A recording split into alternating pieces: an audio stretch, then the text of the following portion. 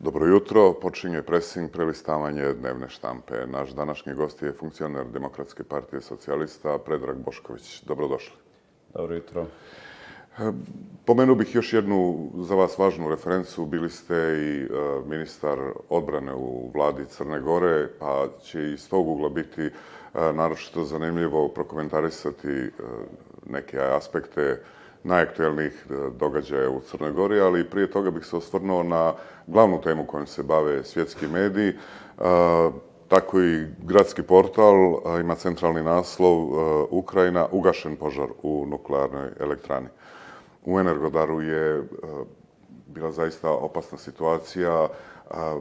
To postrojenje je bilo napadnuto sa više strana od strane ruske vojske. Radi se o najvećoj nuklearnoj elektrani u Evropi. Na sreću ugašen je požar. Bar za sada je opasnost otklonjena.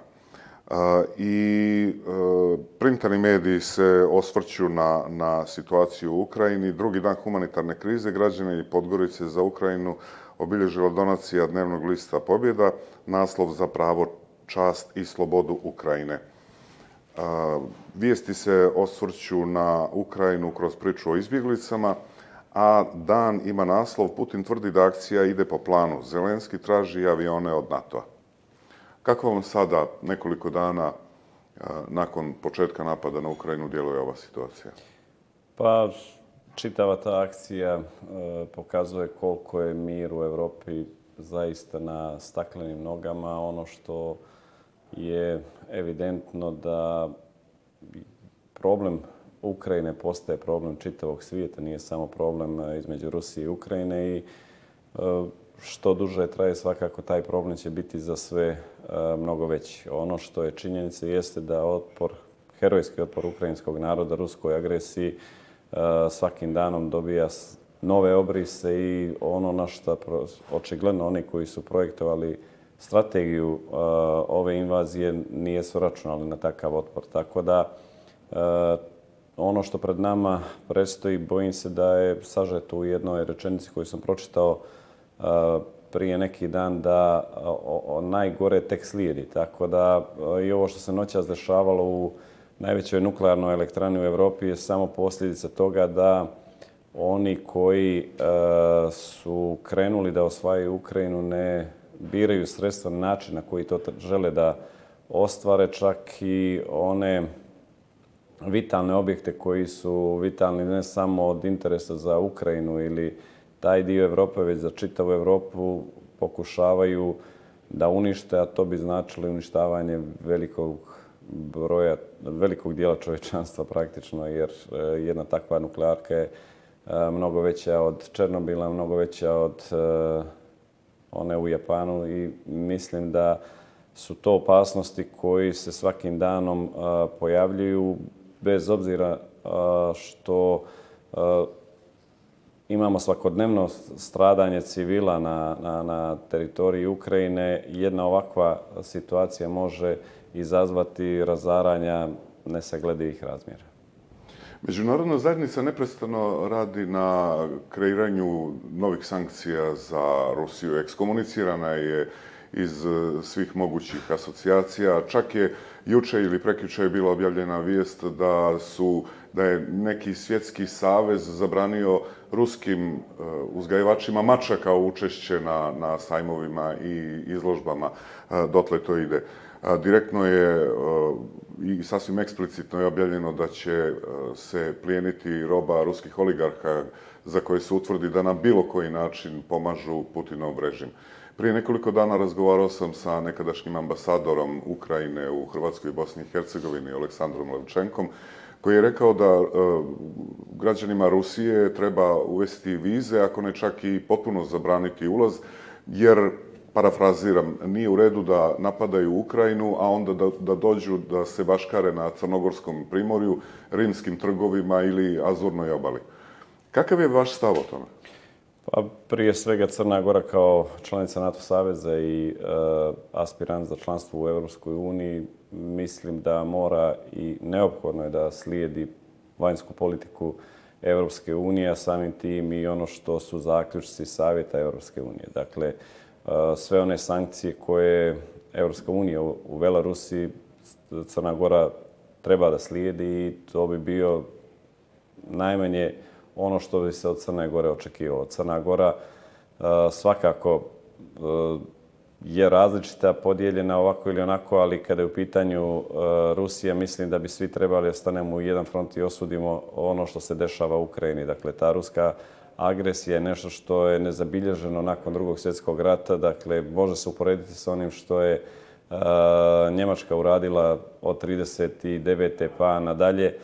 I svakako da e, ono što Crna Gora treba da radi jeste da stane u front onih koji baštine vrijednosti savremene Evrope, demokratske Evrope, Evrope koja je nastala na ruševinama nakon drugog svjetskog rata, iz kojeg je izašla tadašnja ekonomska, Evropska ekonomska zajednica koja je kasnije pretočena u Evropsku uniju i ne vidim bilo koji drugi način da bi Crna Gora trebala se odnese u, u čitavoj ovoj situaciji. Da li će se odnijeti ili neće, vidjet ćemo. Nije sam veliki optimista s obzirom na sve ono što se dešavalo prethodnih dana kada je u pitanju naša odlazeća vlast koja je pokušavajući da e, zabije glavu pjesak, nije se praktično oglasila nekoliko dana e, prvih po pitanju ruske agresije. Nakon toga e, imamo ohrabrujuće stavove ministra vanjskih poslova, međutim koji nisu pretočeni u ono što je politika vlade, jer ono što izgovara ministar vanjskih poslova trebala bi vlada da usvoji, a nije sam vidio ni jednu odluku vlade po tom pitanju. E, zbog toga je neophodno da što prije dobijemo novu vladu kako bi mogla i ta pitanja koja ste jutro spokrenuli da stavi na dnevni red, da se po njima odnese onako kako bi trebala jedna demokratska država na Balkanu. Naša država trenutno djeluje prilično obezglavljeno. Kako prevazići e, problem e, obstrukcije Savjeta za nacionalnu bezbjednost? E, postoji više, više problema usko povezanih sa tim.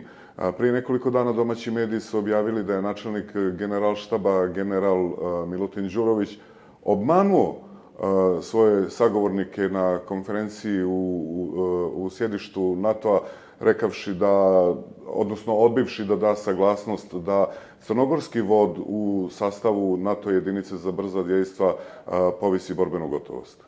Da, to je samo primjer onoga o čemu sam već e, govorio. Dakle, e, naša M vlada je nefunkcionalna, nemamo predsjednika parlamenta. E, jedina prava institucija koja ima legitimitet u, u Crnoj Gori i koja zaista na svaki način koristi svaku priliku kao i danas i, i, i juče da pokaže da je Crna Gora zaista na tom evropskom e, i prozapadnom putu je predsjednik države gospodin Đukanović. E, ono što se dešavalo prethodnih dana govori e, u prilog tome da one riječi koje su prethodna vlada izgovarali nakon izbora 30. augusta da će podržavati sve potpisane međunarodne ugovore i tako dalje, bilo samo slovo na papiru onog momenta kad su osjetili da gube vlast, bili su ovaj, možda i najbolje vrijeme da sagledamo ko je bio na vlasti u Crnoj Gori, jer trenutno u ovih mjesec dana, kako su, evo danas i mjesec dana, kako je pala ta vlada,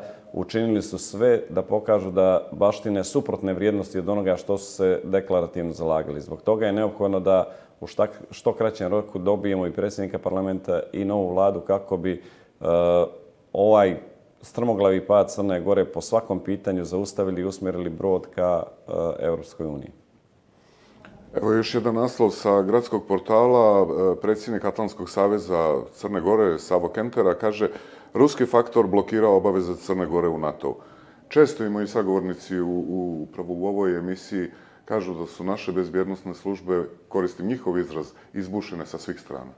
Dakle, ono što je činjenica da su uh, ruski i srpski obaveštajci odavno prisutni u Crnoj Gori. Nije to nikakva niti novina, niti nešto epohalno uh, novo otkriće. Činjenica je da su oni tu i da su pokušavali da zaustave evropski put Crne Gore. Sjećate se i sami kada je Crna Gora dobila poziv za članstvo u NATO 2015. godine, šta je u Crnoj Gore uslijedilo 2016. pa kasnije 2017. To se nastavilo 18. 19. i kulminiralo 2020. godine u susret izborima kada su uključeni i Srpska pravoslavna crkva da taj uh, kompletan paket uh, ruskih proksija u Crnoj Gori bude aktiviran. Ono što se sada prvi put e, dešava u Crnoj Gori jeste da najviše državni funkcioneri e, predstavljaju pogodno tlo za ostvarivanje ruskih interesa u Crnoj Gori. Zbog toga smo imali sastanak e, vršioca dužnosti predsjednika parlamenta gospodina Strahinje Bulajića sa ruskim oficirima u Danilovgradu. Zbog toga se dešava da je naša agencija za nacionalnu bezbjednost po prvi put pod direktnom kontrolom Moskve i Beograda I to je ono što uh, mnogo više zabrinjava od toga da li su oni prisutni. Oni su prisutni u svim zemljama. Vi to znate, vidite ste šta se dešavalo i u Hagu, šta se dešavalo u Londonu, u Sofiji i tako dalje i tako dalje. Uh, ali uh, nikad se nije dešavalo da, makar u Crnoj Gori, da zvanična državna politika je toliko vezana za ostvarivanje ruskih državnih interesa kao što je to u zadnjih godinu i par mjeseci sve to, e, svemu tome mora dođe kraj kako bi Crna Gora se napokon izvukla iz tih kanđi koje su je e, ščepale nakon 30. augusta 2020. godine, jer e, mislim da je pravi trenutak da svi građani u Crnoj Gori vide šta se može očekivati od vrijednosti koje baštini Rusija, Putin i tako dalje, što dokazuje svakodnevno u Ukrajini i mislim da ne postoji građanin Crne Gore koji bi želio da se takvo stanje prelije u Crnu Goru, već prije svega smatram da svako najbolje želi za sebe i svoju porodicu, pa onda i za državu Crnu Goru, a vrijednosti koje baštene savremena Evropa i e, Sjevernoatlantski savez sigurno su diametralno suprotne od onoga što trenutno vidimo u Ukrajini. Dobro, da se, da se osvrnemo na, na domaći teren iz e, drugog ugla, koji, bar što se nas tiče, nije ništa manje aktuelan. Pobjeda ima naslova Abazoviću mandat za sastav vlade. Predsjednik države imenova mandatara za sastav izvršne vlasti. Predsjednik a, Liberalne partije kazao da su podršku dala 44 poslanika. Čeka se odluka SMP-a. E, Dan također ima naslova Abazović dao rok Jokoviću do nedjelje. SMP sprema nekoliko uslova. I vijesti a, Predsjednik države predložio lidera Dritana Abazovića za mandatara. Demokrati i Demokratski front sumnjaju u podršku za njen izbor. Skupština ima 90 dana da izglasa novu vladu. A naslov izlazi iz blokade ili izdaje avgustovske tekovine. Pa, evo, ako mi dozvolite malo širi kontekst da posmatram u, u, u ovom procesu koji je otpočeo juče formiranje nove vlade u Crnoj Gori. Dakle, na jednu stranu ovaj bezbjednostni e, koncept i to stanje koje je neodrživo kako u Crnoj Gori, tako i onome što se Crna Gora predstavlja prema međunarodnoj zajednici kada je e, bezbjednostna situacija u pitanju. E, s druge strane imamo situaciju da e, skoro sve institucije sistema liše, institucije predsjednika države su ili nefunkcionalne ili potpuno zarobljene e, da je nemoguće da funkcionišu. Od sudstva, tužilaštva, e, i tako dalje i tako dalje. Ekonomija nam je praktično na nogama. Sve ono što su eksperti i apostoli obećavali, evo već u trećem mjesecu ove godine počinje da e, šteka i da pravi probleme. Dakle, prosvjetari još nisu primili platu. Dakle, nedovoljno sredstava, već moraju se skupljaju i sve će to tako da ide, da se oteže, dakle, da bismo negdje tamo sredinom godine došli u situaciju da će se prosvetarima i ostalima kasniti po jedna plata i tako dalje. E, sve to iziskuje jednu bitnu promjenu rada političkog u Crnoj Gori. Dakle, neophodno je stvaranje jedne kvalitetne proevropske vlade. Naša uh, ideja je bila da ta vlada treba da bude politička vlada, koja bi trebala se uhvati sa svim problemima koje nam ostavlja ova e, takozvana ekspertska vlada i samo tako Crna Gora može u doglednom e, periodu od pa, par godina izaći iz problema koji, koji nasljeđujemo. Naravno, postoji druga razmišljanja u e, među partijama koje bi trebale e, tvoriti tu novu e, parlamentarnu većinu, ali ostavimo naredne dane da vidimo šta se može iz svega ovoga izvući najbolje po Crnogoru. Ono što je definitivno tačno i što smo govorili od samoga starta kada smo vidjeli e, na koji način e, odlazeća vlada upravlja Crnom Gorom jeste stanje da ona nastavi da upravlja Crnom Gorom pa makar i u tehničkom mandatu. I zbog toga e, smatram da e, kakav god koncept se primjeni u narednom periodu, da to mora da se završi u narednih 15 dana kako bi se iz ruku e, ovih štetočina po Crnu Goru izvukla Crna Gora i usmjerila tamo gdje treba bude i gdje prirodno pripada, a to je u zajednici savremenih evropskih demokratija. Ovih dana su se mogla čuti nagađanja da su možda najnoviji ovi globalni događaji, prije svega e, rat u Ukrajini, e, da su doveli do jedne nove situacije kada međunarodna zajednica više ne gleda baš tako blagonaklono na, na ideju formiranja manjinske vlade, već da sad možda i oni preferiraju formiranje jedne političke vlade u, u punom kapacitetu koja bi svakako efikasnije odgovarala na, na sve izazove. Da li imate u vezi sa tim neka saznanja? Pa svakako, u, u kontaktu sam sa našim međunarodnim partnerima e, i oni su uvidjeli greške koje su napravljene nakon 30. augusta i naravno te greške treba ispraviti, sanirati i ponovo Crnu Goru e, izvaditi iz ovog blata koje je uvaljena e, nakon 30. augusta 2020. godine.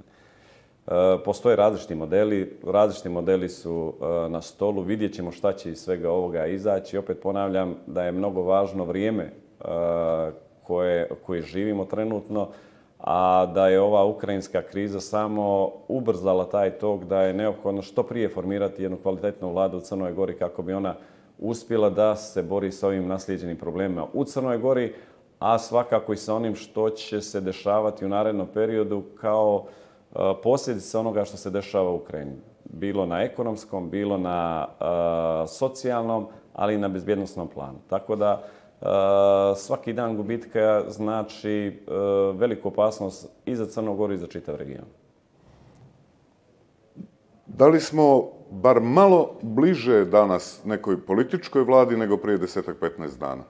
Pa ne bih o tome mogao vam reći e, jutros. E, novi mandatar juče dobio mandat da ga ostavimo da sljedećih dana a, pokuša da napravi ono što on smatra da a, je u datom momentu najbolje za Crnu Goru. Nakon toga DPS će se izjasniti da li je to prihvatljivo za DPS ili nije ali u svakom slučaju svako rešenje koje bi išlo u narednom periodu je značajno bolje od onoga što je trenutno stanje u Crnoj Gori. U pobjedi imamo još jedan naslov koji govori o još jednom problematičnom aspektu e, sadašnje vlade. Bivši ministar poljoprivrede Budimir Mugoša ukazuje na neznanje, inat ili zlu namjeru apostolske vlade. I onda naslov Stijović i Milatović prodali 10 tona pšenice i ugrozili nacionalni interes. Pa to je vidljivo, evo sad je to isplivalo na površinu. Imali smo tih e, e, situacija praktično u svakom sektoru i svakoj politici vlade koju je prethodna e, vodila, a naslijedila ova odlazeća. E, definitivno da višak populizma sada se obija o glavu e, odlazeće vladi, jer prodaja tih tona e, pšenice koje se desio prošle godine bila je znači samo e, jedna vrsta populizma kako bi građanima prikazali kako je prethodna vlada neracionalno trošila sredstva i tako dalje i tako dalje. Sad se e, pokazuje koliko je bilo e, vizionarski to što je prethodna vlada u vrijeme početka COVID krize kada su granice bile zatvorene, kada nije praktično u prvih par mjeseci bilo moguće čak ni klasična robna razmjena da se uspostavi uh, Eh, na prostorima Evrope, koliko je bilo eh, bitno da se obezbijede te eh, količine zalihe pšenice kako bi se obezbijedila hrana za crnogorsko stanovništvo. Sada kad je nova kriza na, na pomolu, imajući u vidu da je Ukrajina najveća žitnica Evrope i tako dalje, oni su došli u situaciju, nova vlada, da su prodali prethodnu pšenicu, a da ne mogu da nabave nove zalihe dovoljne e, za potrebe građana Crne Gore. Tako da sve ono što su radili, svoj populizam, e, prije ili kasnije se svima, pre, prevelika količina populizma se prije ili kasnije obije glavu onome ko, ko, ko baštini taj populizam. I sada to dolazi na naplatu ovim apostolima i neće to biti samo kada je u pitanju taj poseban e, akt e, vezano za nabavku pšenice i prodaju pšenice, već i kada je u pitanju e, ovo što se dešava sa zaradama i tako dalje i tako dalje, bojim se da onaj populizam koji su isijavali nakon septembra prošle godine, koji je kulminirao usvajanjem onog budžeta krajem prošle godine, da će sve to doći na naplatu vrlo brzo i bit ćemo svjedoci eh, eh, da oni koji ih danas najviše podržavaju će ih i najviše eh, kritikovati, pljuvati u narednom periodu upravo zbog toga što će tu pitku priču za građane koju su plasirali krajem prošle godine će se preliti dobrim dijelom upravo na građane, što se sada vidi, vidi ovim enormnim poskupljenjima svih životnih namirnica. Tako smo imali naslove prije neki dan upravo u novinama da se prošle godine e, početkom januara e, mnogo više moglo kupiti za 530 eura prosječne plate nego sada za 680 eura prosječne plate. E, prije nekoliko dana ministar poljoprivrede Stijović je dao jednu, slobodno mogu da kažem, sasvim neodgovornu izjavu da u Crnoj Gori slijede nestašice i, i poskupljenja. Nakon toga je i nastao nekakav, nekakav talas kupovine, e, prekomjerne kupovine u trgovačkim lancima. Po vašem mišljenju, da li se tu radi o e, neznanju, nesnalaženju u komunikaciji sa medijima, ukupnom javnošću ili jednostavno o, o namjeri? Ja mislim da je sve ovaj, kombinovano u pitanju. E, dakle, njihova neznanje i, i, i nesposobnost se ogledala u prethodnih 12 mjeseci ili 15 mjeseci njihovo vršenje ove vlasti. S druge strane, e, onog momenta kada su shvatili da više nisu ministri ili neće biti ministri u, u, vrlo brzo, su krenuli u, komplut, kompletnu destrukciju uh, čitavog procesa. Dakle, to se ogledalo u Ministarstvu odbrane kroz ono što ste malo pripomenuli da načelnik generalštaba obmanjuje javnost o nefunkcionalnosti u Crnoj Gori i tako dalje i tako dalje. Obmanjuje NATO? I, i javnost i NATO, tako je a imali smo s druge strane ovo što se dešava u e, Agenciji za nacionalnu bezbjednost gdje se odjednom prima ogroman broj e, zaposlenih e, ljudi prije svega koji nisu odani u ovoj državi, ljudi koji će zloupotrijebiti Agenciju za nacionalnu bezbjednost za ostvarivanje nečih drugih interesa.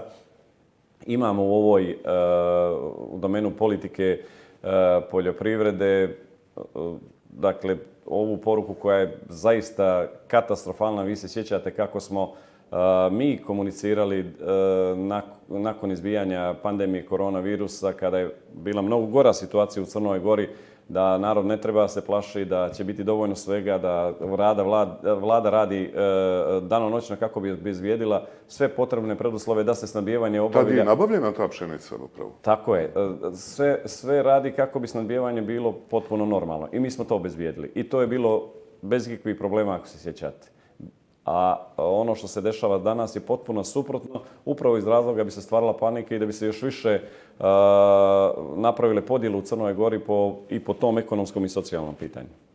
Evo i za kraj još jedno pitanje. E, opozicija je, dok je Demokratska partija socijalista bila vlast, e, opozicija vam je godinama kačila beđ e, švercerske partije, stalno se prebacio još od, od vremena onih napisa Pukanićevog nacionala, e, Zagrebačkog magazina. E, evo sada imamo cigarete se kradu, saglasnost vlasnika da ne bi plaćao naknade naslovi iz pobjede. Uprava prihoda i carina najavila krivične prijave zbog krađe 238 paketa iz slobodne carinske zone.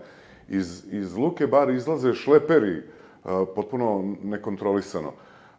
Kako vidite eh, eh, te događaje, ali naročito me interesuje eh, zašto sada DPS ne koristi priliku da taj badge vrati onima koji su ga vama kačili? Evo, da vam dam dva odgovora na to pitanje. Dakle, prvi odgovor je zašto se za DPS toliko vezala ta priča o, o, o švercu, koruptivnosti i tako dalje i tako dalje. Vi imate da je DPS bio dugo na vlasti, naravno e, vlast kvali, kvari ljude i, i sve ono što može da se iz toga izvede. Ali ono što je mnogo bitnije u tom procesu jeste da se taj narativ DPS-u posebno počeo kačiti negdje od 2014. pa nadalje da, do 2020. I sve to posljedica uh, onoga što se dešavalo prije svega iz uh, ruskih i srpskih tabloida iz regiona, Naravno, oni koji su vječito bili nezadovoljni sa tim što ne mogu da pobjede DPS na feri demokratskim izborima, oni su prihvatili taj e, narativ i to je bio jedan dio specijalne operacije koji se vodio prije svega iz Moskve preko Beograda protiv Crne Gore kako bi se e, običnom građaninu DPS prikazao kao e, kriminalna organizacija na način što čuda čini po Crnoj Gori i tako dalje. Na kraju se to ispostavilo evo, za ovih godinu i, i, i tri mjeseca, to apsolutno nije bilo tako i e, ponosan sam na ono što smo radili e, u svim vladama u kojima sam i ja participirao, ali e, u kojima nisam, za koje je bio zadužen DPS primarno. I to je činjenica da danas praktično e, je DPS e, i dalje jedini stožer odbrane državnih interesa u Crnoj Gori da stavlja uvijek u, u, u, ispred sebe ono što je e, kao prednost ono što su državni interesi, a da partijski interese e, praktično e, podređuje onome što, što su državni interesi. Što bi, bilo, e, što bi trebalo bude us, e, princip svih partija koje, koje, koje baštine e, Crnu Goru. E, I to je ta etiketa prije svega formirana kroz taj ogroman narativ koji nam se spočitavao iz tih srpskih tabloida, e, e, uglavnom generisanih iz jednog centra, to je tog ruskog centra koji postoji u Beogradu prema, prema čitavom regionu, a koji je od momenta kad je Crna Gora krenula e, da postane članica NATO-a u 90% svojih kapaciteta bio usmjeren prema Crnoj Gori. Dakle, to je jedna strana priče. Druga strana priče je to što se trenutno dešava i što se dešava e, pod okriljem ove nove vlade i zašto DPS e, često, i ja čujem taj komentar o kojem ste vi jutro e, govorili, zašto mi ne izađemo slično onome što su oni govorili. Zato što mi nismo oni. Zato što mi hoćemo puštimo institucije sistema time da se bave. Da jednom prekinemo sa tom praksom da se etiketiraju ljudi dok se to stvarno ne dokaže u onim institucijama koje treba primarno se bave tim poslom, dokazivanjem, e, osuđivanjem i tako dalje i tako dalje. Jer sve ono što bi mi radili kao oni, postali bi populisti na način na koji su oni sada. Mi to ne želimo i nikad nećemo biti kao oni, jer smatramo da e, u Crnoj Gori svako treba da radi svoj posao, da institucije sistema treba postati dovoljno snažne i jake, da mogu da se izbore sa svim izazovima ispred njih, tog momenta mi ćemo postati zdrava zemlja koja može da se izbori sa problemima bez obzira koje je na čelu. Do tada mi imamo strašno unižavanje i urušavanje svih institucija sistema. Trenutno, zbog situacije u Ukrajini, najvidljiviji je naš bezbjednostni sistem, koji je, kao što ste kazali, izbušen po svakom pitanju. I što je još gore, e, postao je servis nekih drugih službi i iz regiona i mnogo šire. I to je naš najveći problem. E, da bi se to moglo riješiti, treba će vremena, a vremena najmanje imamo. A ono što je najbitnije jeste da nam treba da što prije ovu vladu pošaljemo u proslost, pa makar i kroz tehnički mandat, i da se izabere nova vlada koja će zaista voditi računa o primarnim državnim interesima Crne Gore, nacionalnim našim interesima, a naš najveći nacionalni interes jeste da budemo pouzdan partner NATO-a i da što prije počnemo zatvarati poglavlja i postati članica Europske unije. Odlično, tu ćemo završiti. Hvala vam što ste danas bili gost Gradske radio televizije. Hvala i vama na pozivu. Presing je završen. Naš današnji gost je bio funkcioner DPS-a Predrag Bošković. Thank you.